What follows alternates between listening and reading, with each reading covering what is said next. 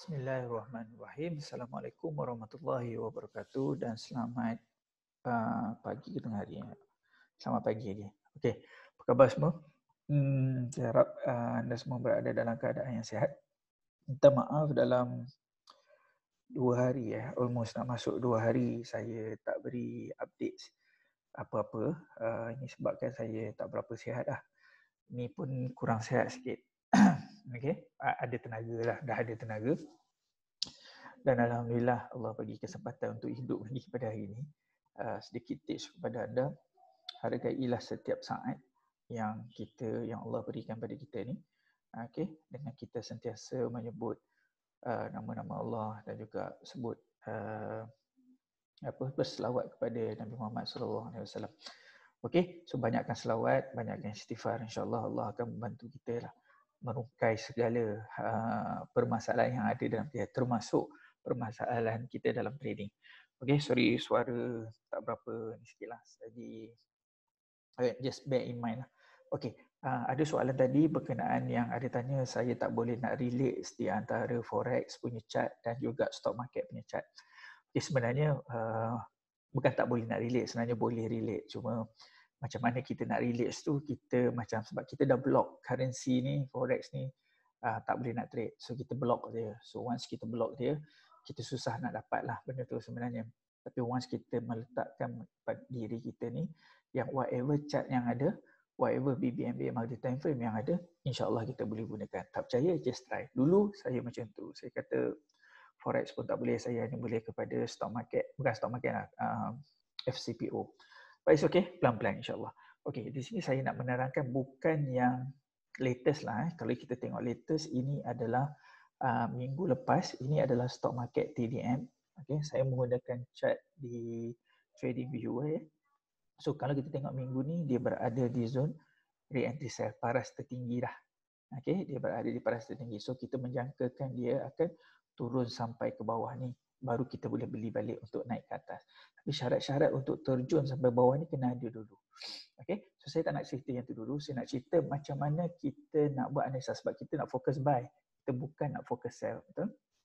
Okay, so now kita fokus buy. Okay, perasan tak dekat sini. Pada 2 Mac 2020, price telah berada di zone mana? Di kawasan re-entry buy.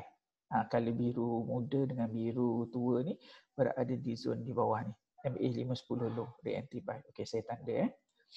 Okey. Ini hanya analisa yang lepas eh. Dan perkara yang sama juga nanti you guys kena analyze dekat kawasan ini. Okey, nanti. Nanti kena analyze kat sini juga nanti. Okey, dekat sini kena ada benda yang sama macam ni dekat zone ni. Okey, apa yang ada dekat zone ni? Okey, pertama kita tengok di zone ni. Pertama, okey, saya menggunakan uh, untuk yang stock market saya lebih selesa menggunakan monthly lah.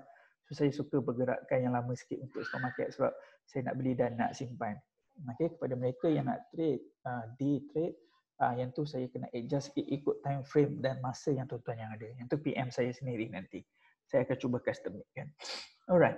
So untuk monthly dia berada di zone yang terbaik. Walaupun kita nak gunakan uh, time frame yang lebih kecil tetapi sistem dia tetap sama. Kena sama.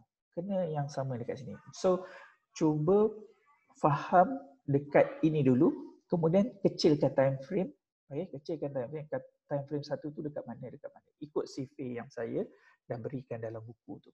Okey so week monthly re-entry buy so di weekly kita kena make sure that dia berada di dalam keadaan market hilang volume buy. Ah, dia tidak boleh ada momentum sell. Dia kena ada market hilang volume buy. Kita tengok di weekly tempat yang saya tanda tadi tu bukan ini eh. Okey, di sini. Nampak? Di sini ada tak momentum sell? Momentum sell ni apa? Candle yang close di luar BB. Yang hijau ni tak open di luar tapi close di dalam. Pasal?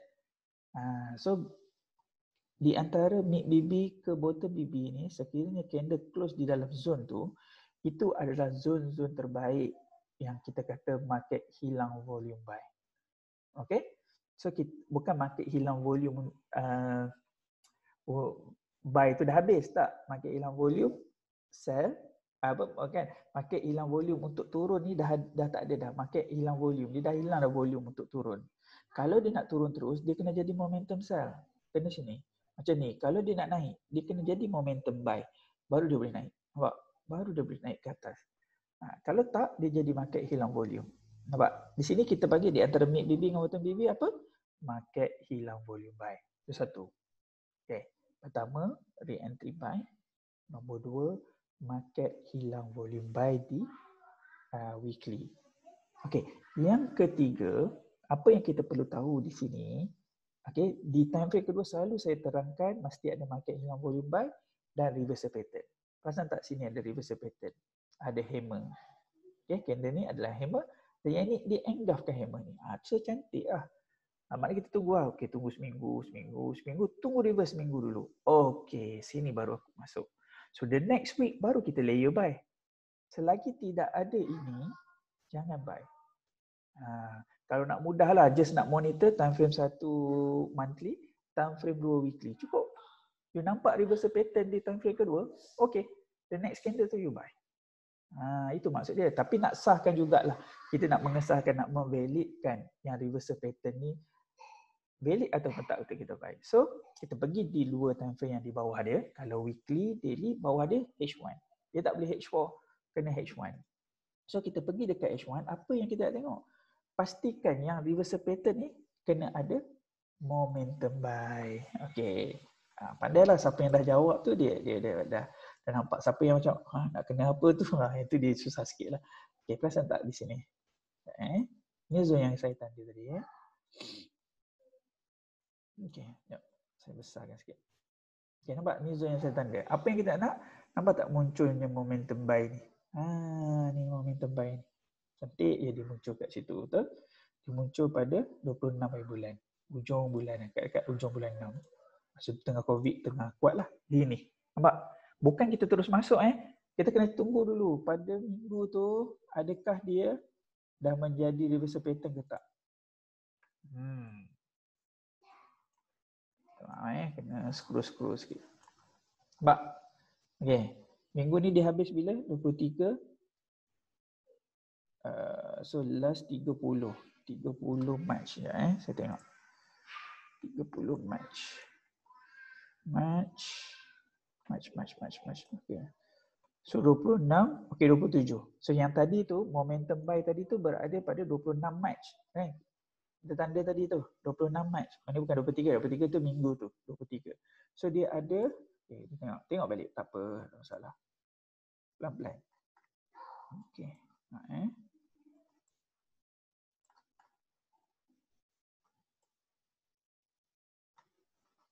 Yang kita tanda dia ni pada 26 Mac nampak? So kita kena tunggu dulu esok tu. Esok tu dah minggu tu habis baru kita boleh raya. So pada 30 hari bulan okay, so minggu tu habis 27 kan? Yang habis 27 okay. Sini dia habis 27 okay, the next candle kita payah di sini. RM1.65 sen tak apa lambat sikit tak apa kita akan buy di sini RM1.65. Sekiranya dia jadi momentum sell dekat sini, uh, RM1.05 sen, candle close di luar, katalah luar sini. Cut dah position tu, baru 6 sen. Betul? Tapi kalau kita buy sini RM1.65, okay, katalah kita dapat Q buy, sekarang dah price RM3.5 tau. Kita dah almost 100%. Dalam masa almost 5 bulan.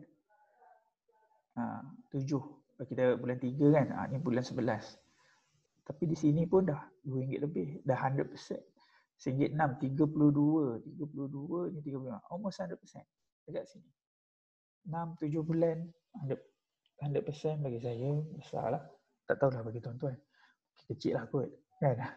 Bagi saya percentage tu amat-amat besar. Tapi kena tunggu lama sikit lah. Oh, nampak tak?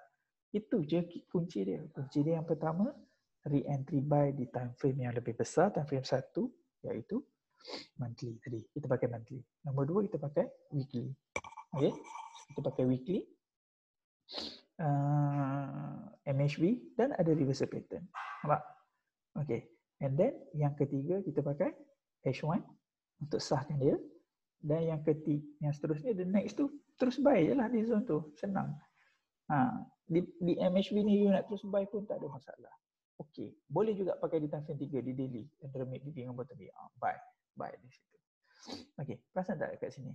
Sini ada momentum. Momentum sekarang ada inside bar. Betul tak? Tapi dia close di luar ni. Dia tak dekat dalam. Pasal tak sini? Ada inside bar. Sekiranya minggu depan candle close di dalam. Dan ini close di dalam. Membuat reversal pattern. Dan disahkan dengan H1. Okay? Katalah H1 nanti. Okay? Ada momentum sell nanti. Ni ada tapi tak valid. Tunggu lagi sekali. Ada satu momentum sell. Dan berhati-hati. So market akan terjun ke bawah. Okay. Tak apa. Bagus. Bila market terjun ke bawah, kita tunggu dekat sini. Ini zone-zone dia. Kalau nak pakai weekly lah nanti kan. Kalau pakai monthly, di sini zone dia. Kalau you guys pakai weekly nanti, ini zone-zone terbaik untuk kita beli pula. Ha, nampak? Kat situ kita nak tunggu apa? Okay, kalau situ kita pakai weekly, so daily kena jadi market hilang volume lah. Ni dia kena antara duduk antara mid BB dengan bottom BB.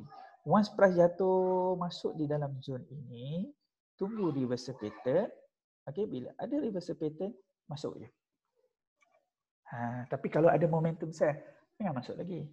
Relax dulu. Maksudnya kita tahu dah dia nak pergi ke mana. Dia mungkin nak pergi kepada monthly tadi tu.